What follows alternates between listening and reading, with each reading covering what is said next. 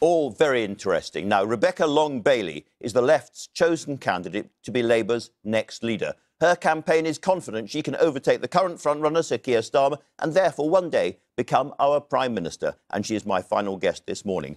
Uh, welcome, Rebecca Long Bailey.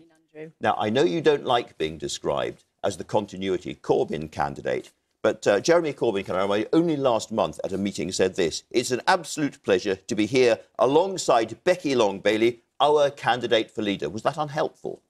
Not unhelpful. I mean, Jeremy and myself are friends, but it's quite disrespectful sometimes when I'm termed the continuity candidate. I've always been strong to my principles. Everybody knows what I believe in, and I'll never deviate from that.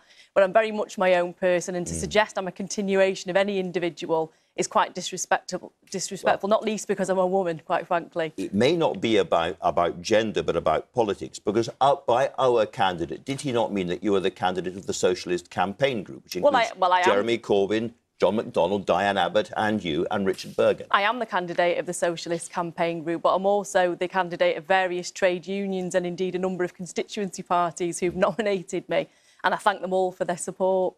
And who's chairing your campaign? I've got Jon Trickett is my MP who's chairing the campaign. He's a fantastic campaigner and coordinator. And Jon Lansman? And Jon Lansman is the campaign so, director organising the, the logistics in the background. Who is the man, let's remind ourselves, who formed Momentum, which was formed to back Jeremy Corbyn. So there is a pattern emerging here.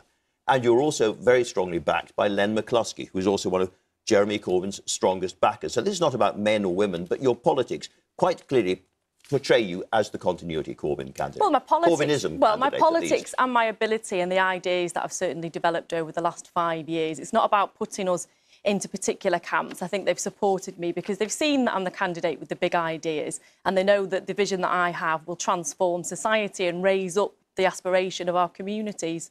Recently, let's turn to your own words. You've said, um, I don't just agree with the policies, I've spent the last four years writing them. And you've also said, I've learned so much from Jeremy, John, and Diane. We must not retreat from that politics. You are absolutely in the same tradition as Jeremy Corbyn's politics. Well, we've got to recognise where we were five years ago as a party, and we've come so far.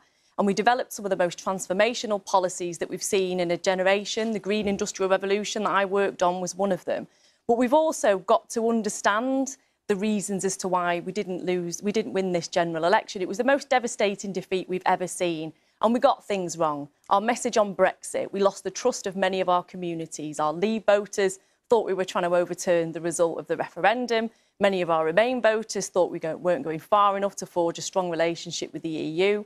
We lost trust on a whole range of other issues, anti-Semitism, divisions within the mm. party. And in terms of the manifesto itself, despite having some great policies, we didn't have a message that drew them all together around aspiration and bettering people's lives. And often the campaign was quite chaotic in the way that policies were thrown out left, right, and centre. So it's all about the selling. You think you had exactly the right policies and the right number of policies, and you would do it all again. You just sell it a bit better. It's not to say that there aren't different ways of doing this. So one example I'll give is that you have a manifesto set of policies that are deliverable within five years.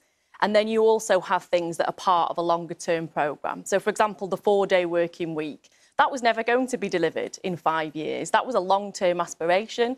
And it only, it only would have happened after we'd improved productivity by investing in our economy through an industrial strategy. It only would have happened when we'd strengthened the role of trade unions in workplaces so that collective sectoral bargaining could have taken place. But unfortunately, the message that went out in that election campaign is that we were suddenly going to click our fingers and everyone would be on a four day week. And that was preposterous and it was quite damaging. Mm. So, differentiating between what is in a manifesto that's deliverable in the short term and what's part of our longer term programme, I think is very important. I've spoken to quite a few senior Labour Party people on air since the election defeat, and I've asked each one of them, do you take personal responsibility for the defeat? And given that you wrote those policies, I ask the same question to you. I do, and certainly I was very upset that we didn't sell many of the policies in the way that I would have hoped. So, Green Industrial Revolution is a key example. This was a policy that would have tackled climate change, but it also would have invested in our economy, reindustrialised many parts of the so-called Red Wall,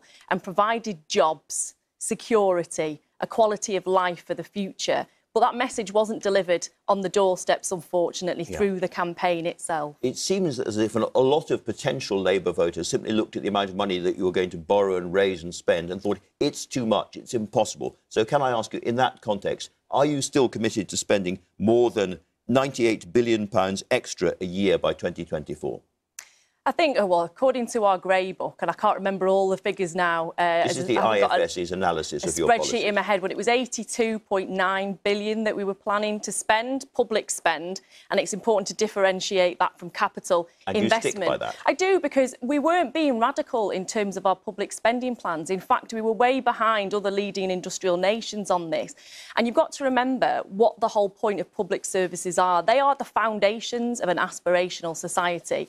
Good education, good healthcare system, good public services, underpinning every single person within our communities and enhancing their ability to do well in life. And that's critical. So she would never be ashamed of public spending right, and investing okay. in our public Go- services. going forward, we're now out, out of the EU, that's done. Yeah. Are, are- does Labour, under Rebecca Long Bailey, become a return to the EU party, or do you accept that argument is now No, over? I think it would be absolutely disastrous to go into the next general election advocating a position of rejoining the EU. We've seen the damage that our compromise Mm. position did in this election campaign, and whilst we were trying to bring together divided communities, we weren't trusted, failed, and it was it was not a good position to be in. So our role now is to over the next four years, set out a positive vision of what Great Britain looks like outside of the European Union. We can't retreat to a hmm. position where we're waiting four years to tell our voters that they got it wrong.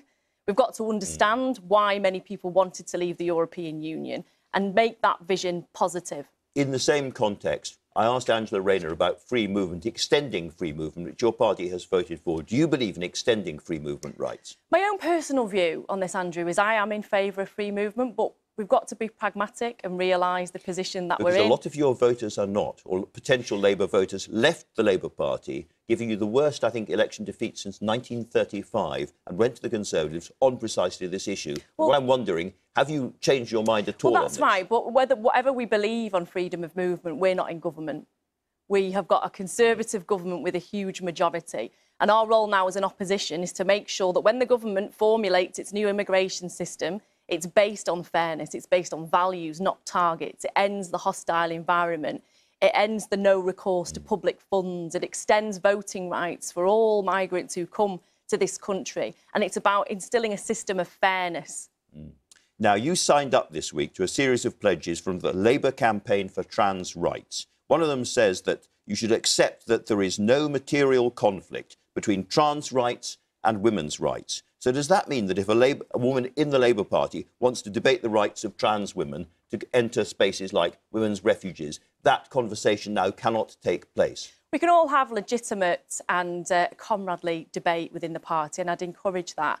But in terms of the position of trans rights, I've been very clear on this. I support the right to self ID, and we've got to recognise the amount of transphobic hate that there is out there, both within certain elements of the media and coming from our communities, and difficulties that trans people face. And as a party, you would expect us to be at the vanguard of tackling that transphobic uh, behaviour. Uh, the pledge that you have also signed says that it's important to organise and fight against transphobic organisations such as Women's Place UK, LGB Alliance, and other trans exclusionist hate groups. So, to be clear, you would regard Women's Place UK as a hate group. I'm not regarding any particular group as a hate group, but what I would say, what, I, something that says what I would say very clearly is that there is no place within the Labour Party for transphobic behaviour.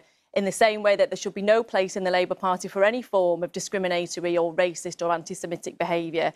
I've been a strong advocate of an independent disciplinary process, and any member, whatever group they're from, if they display those kind of behaviours, they shouldn't be in the party. So, you would regard Women's Place UK as a transphobic hate group. If you become leader, do you start to throw people out of the party? No, I've not. I've on not. No, one? let me be clear. I've not. I've not referred to any specific organisation as a hate group. But what I would I'm say, sorry, the what I would say, say what, that Andrew, specifically. what I would say is that any member of our party who goes through our disciplinary process, which will be a new process under myself, an independent one, if they're found guilty of being transphobic, then they shouldn't be within our party. It's as simple as that. So, well, let me give you the example of Jess Phillips, for instance, former leadership candidate herself, who retweeted Women's Place UK and says she could find its demands completely reasonable. Jess Phillips could be kicked out of the Labour Party if Rebecca Long Bailey becomes leader.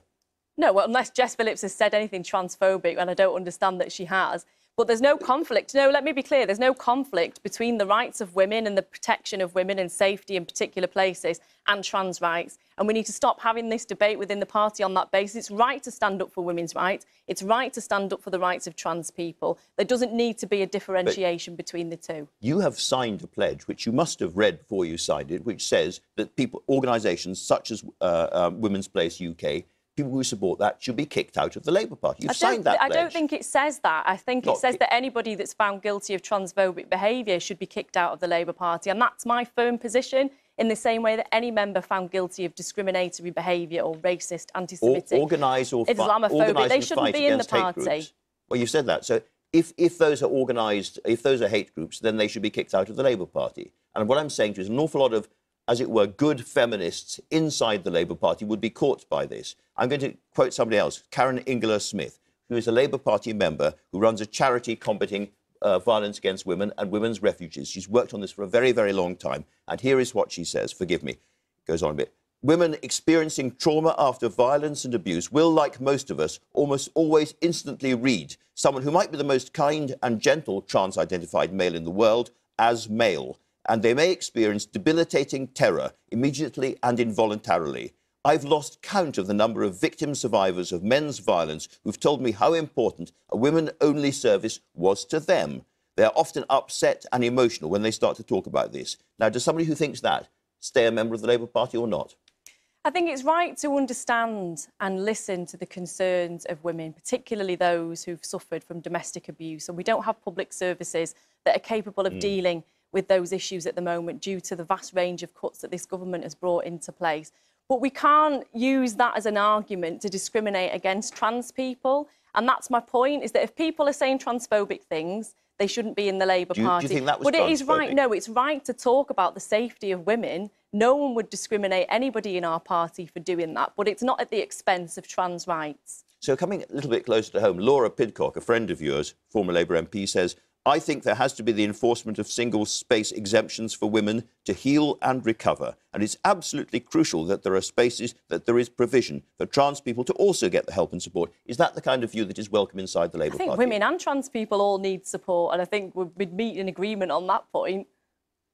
Now, all of this, I mean, the, the, the law over, overall arching this is the Equality Act of 2010, which yeah. is therefore, of course, a Labour Act. And that says that trans people uh, even if they have got identifying documents, um, can be excluded from certain women-only spaces. Given what you've said, would you change that law? I do, and I want a right to self-ID for trans people. It's not an easy journey to go on as a trans person to determine changing your, your sex, if you like. And we know the, the mental health issues that many within our trans community face. They've got extremely high suicide rates, and we should never underestimate the pain that those hmm. individuals mm. go through. And that's so you why would change right. that law? I want the right to self-ID and I want that enshrined in law. All right, let's, let's talk about another big issue. You have stood up to anti-Semitism in the party, you yeah. say, yes? Do you recognise this sentence? It should not be regarded as anti-Semitic to describe Israel, its policies, or the circumstances surrounding its foundation as racist. I think under the International Holocaust. Remembrance definition, it would be anti-Semitic to regard Israel as a racist endeavour. So you, so you regard that sentence as anti-Semitic? You've said that? I don't think it's racist to stand up for the, the right, or anti-Semitic, should I say, or racist, either or, to stand up for the right of Israel to exist. And that's something that I very much support. But I also support a two-state solution uh, yeah. and don't condone the actions of the Israeli government in terms of illegal settlements and etc. etc. And that's why it's that so was, important. That was a sentence you in the past have said was anti-Semitic there was a National Executive Committee meeting in October 2018 where Jeremy Corbyn arrived and read out that statement as a proposed addition to the Labour Party policy. You must have been horrified when that happened. I think under the IHRA definitions, it's very important to make it clear that supporting the right of Israel to exist and not kind of examining in any great detail the history is, is not it's incompatible with, with the definition of hmm. anti-Semitism, quite frankly, and we need to be very careful on that. But that doesn't But- when, that when doesn't you heard, discriminate I'm against. sorry to interrupt, but when you heard that statement made by Jeremy Corbyn, which you have described as anti-Semitic, did you speak out against it I don't. Well, I don't remember the incident itself. It was mentioned to me at a meeting the other night, and I don't. I don't You- you recall were it. If I'm honest. meeting? Well, I don't recall that statement being made, but I'm very clear on us not questioning the right of Israel to exist, and certainly not saying that in any way So- it's a racist endeavour. I'm clear on this, that, this, Andrew. this happens at the moment when the anti-Semitism row is at its height in the Labour Party. You're at an NEC meeting, your leader arrives and reads out a statement which you regard as anti-Semitic, and you can't remember that. And well, I'm being clear on what my view on this is, Andrew. I do not think that it's right to call Israel or the creation of Israel a racist endeavour. I think that that's anti Semitic. And we've got to recognise where we are on anti Semitism within the party. We have not taken enough action. It's not been robust enough. And as Labour leader, right. I would adopt any recommendations made by the EHRC. I would adopt the 10 pledges right. made by the Board of Deputy. And I would restore trust with the Jewish community. Rebecca Long Bailey, thanks very much you. indeed for talking to us today.